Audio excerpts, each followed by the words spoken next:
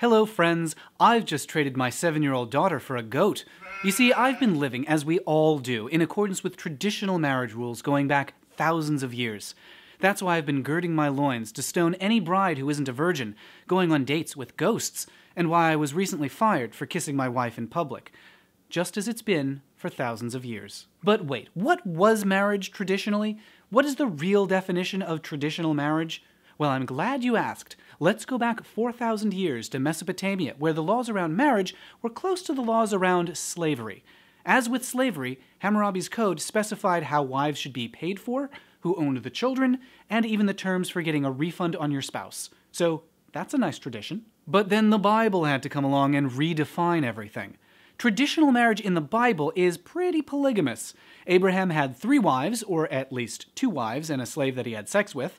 Caleb had five, David 18, Moses just two, and King Solomon had a thousand wives, although, to be fair, 300 were concubines. The Bible's rules about marriage are very clear.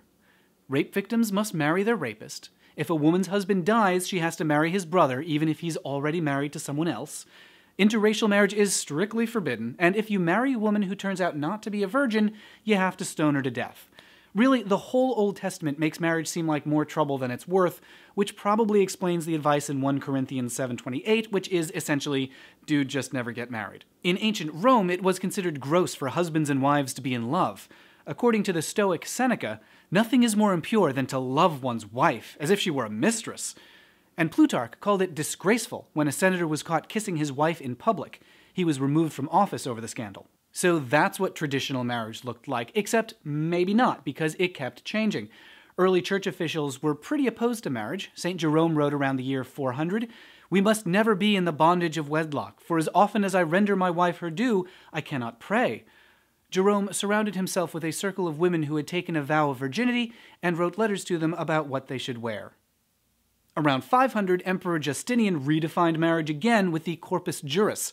Under those rules, fathers could give away their daughters when they turned seven, Christians couldn't marry Jews, and a husband was allowed to beat his wife, but if he did, he had to pay her afterwards. So that was traditional marriage. For a while, until it changed again. Around the 13th century, the Catholic Church decided to get into the wedding business and made marriage a sacrament. Pope Alexander redefined marriage to be an agreement between spouses rather than their parents, but it still wasn't great for women. In the 15th century, Bernard of Siena told parishioners to cool it with all the wife beating, and that they should treat their wives with as much mercy as they would a chicken or a pig. And Martin Luther wrote that he gave his wife a box on the ear whenever she was saucy. Okay, so traditional marriage was basically treating women like a punching bag. Actually, no, it was much worse. In 1736, jurist Sir Matthew Hale wrote in the History of the Pleas of the Crown that a husband cannot be guilty of raping his wife, since a wife hath given up herself in this kind to her husband which she cannot retract. By the 1700s, marriage had been redefined over and over and over. But the one thing it had almost never been was something you do with somebody you love. The advice in the 1700s was to marry someone you could learn to tolerate, thereby anticipating the Kramdens by several centuries. Bang, zoom! If you wanted to get married in colonial America, all you had to do is say you were married. As long as you were white, slaves still had to get permission from their masters. As for women, the very being and legal existence of the woman is suspended during the marriage, wrote William Blackstone. The very being. Blackstone literally thought women cease to be when they marry. Tradition. Former slaves were finally able to marry after the Civil War, and in the late 1800s, South Carolina became the first state to rule that men were no longer allowed to beat their wives. It wasn't until 1920, less than a hundred years ago, that wife beating was outlawed nationwide. These changes were radical redefinitions of traditional marriage, and they were redefinitions for the better. As a society improves and the people in the society improve, those people improve marriage. It was in the 1920s that people started marrying more for love than for property. The term for it at the time was love marriage, and people were fascinated by this new idea that you could be in love with the person you marry and you might not be allowed to beat them up. This was all coinciding with suffrage and improved economic mobility and a stronger society in general, so it's no surprise that marriage grew stronger as well. And yet, there was still resistance. Conservatives at the time said that this new definition of marriage would completely destroy the institution by the end of the 20th century. And there were still more changes coming. It wasn't until 1967 that the Supreme Court overturned bans on interracial marriage in Loving v. Virginia. At the time, states justified those interracial marriage bans by claiming that they were, you guessed it, traditional. They also claimed that the Bible justified the bans and that interracial marriage was an attack on religious freedom. One judge even wrote, Almighty God created the races white, black, yellow, Malay, and red, and he placed them on separate continents. And but for the interference with his arrangement, there would be no cause for such marriages. The fact that he separated the races shows that he did not intend for the races to mix. In 1971, the Supreme Court overturned laws dictating that when a husband and wife have a legal dispute, males must be preferred to females. The young attorney who argued that case, by the way, was Ruth Bader Ginsburg, who may understand better than anyone else on the Supreme Court why it's okay, and sometimes necessary, for marriage to change.